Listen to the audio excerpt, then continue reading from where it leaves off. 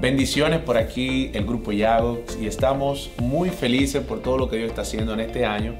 Y parte de lo que estamos llevando hoy en día para compartirlo con ustedes es compartir una palabra de Dios en estos momentos que estamos planificando, nuevo año, nuevas metas.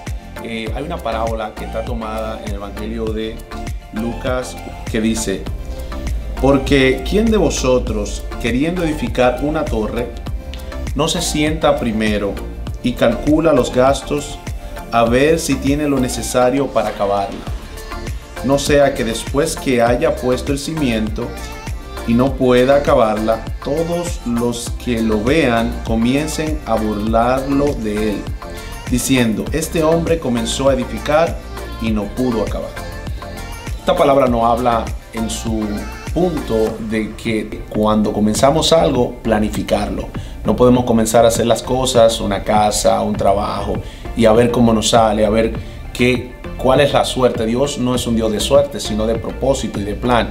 Y por eso es que hoy estamos compartiendo esta palabra, porque dice que no se sienta edificar, no se sienta planificar lo que va a edificar. Eh, Anita, ¿cómo crees que Dios debe trabajar en estos tiempos?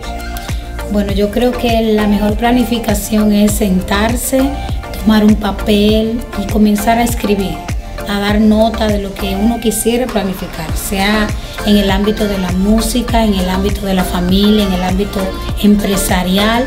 Y cada meta o propósito que queramos alcanzar tiene un seguimiento. ¿De qué? De que uno empieza con un cimiento, pero hay que darle un seguimiento para luego ir avanzando al segundo plano, luego al tercer plano, para luego ya mirar el producto terminado. En el caso de nosotros sería la música, un ejemplo, se ensaya, se practica, pero antes de eso se, primero se tiene que escribir la canción, se tiene que dar la melodía, entonces es un complemento de muchas herramientas, pero al final podemos disfrutar una hermosa adoración. Entonces yo creo que todo eso se puede planificar de la mano de Dios. ¿En qué sentido? En que todo tiene que tener un norte, todo tiene que tener un principio, pero todo tiene que tener una herramienta clave que es en nuestra vida el presentárselo a Dios. Porque yo puedo presentarte a ti un así plan, es, así o puedo es. presentarle el plan a otra persona, pero de nada vale la opinión del hombre si la aprobación de Dios no está.